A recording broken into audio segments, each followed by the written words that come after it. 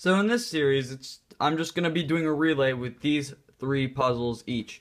So we have a very expensive set over here. This is the Fangshi, Xishuang, the Moyu Aolong, and the Moyu Aosu.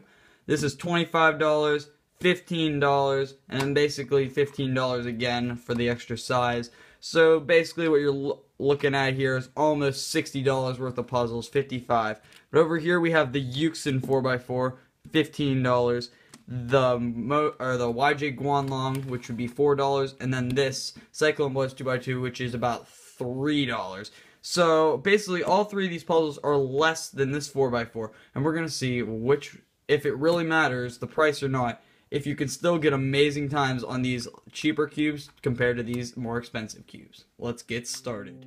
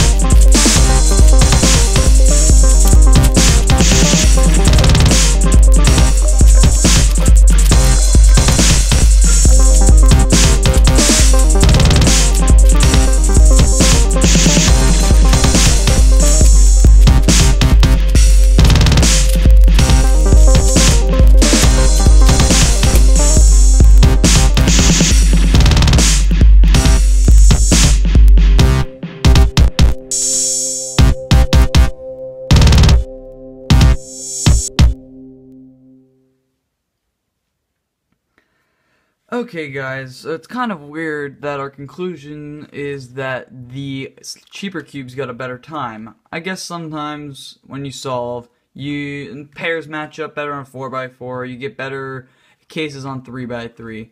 Because they were basically almost the same. They were only about um, 8, 7 seconds off, 8 seconds off.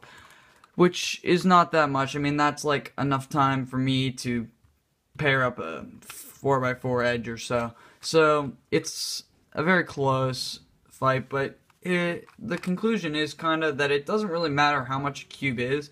I mean, if take these for example, they both function good, they both corner cut, amazing. Um, just it depends on what your preference is. If you like the feel of this and it's heavier, more stable feel, or the light and airy feel of this, it's whatever, and the price doesn't really matter in this case, I guess. So thank you guys for watching, and I want you to watch this next clip, please, because it is a quick update. Okay guys, thank you for watching that relay. I just wanted to do a quick update. I have 81 cubes now, with plenty more on the way, obviously. Um, one other thing, don't be afraid to comment on what kind of videos you want, what reviews you want, um, I'll do any type of videos. I'll do like a room tour. I'll do my setup if you wanted to see that. I'll do a review on like the stupidest of all puzzles, like the Rubik's Revolution or something. I don't care. Just comment. Don't be afraid. I love making videos. It's really fun.